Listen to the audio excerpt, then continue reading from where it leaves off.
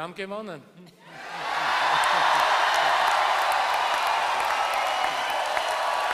Wir haben am 22. Mai rund 30.000 Stimmen Vorsprung gehabt und wir haben am 4. Dezember rund 300.000 Stimmen Vorsprung.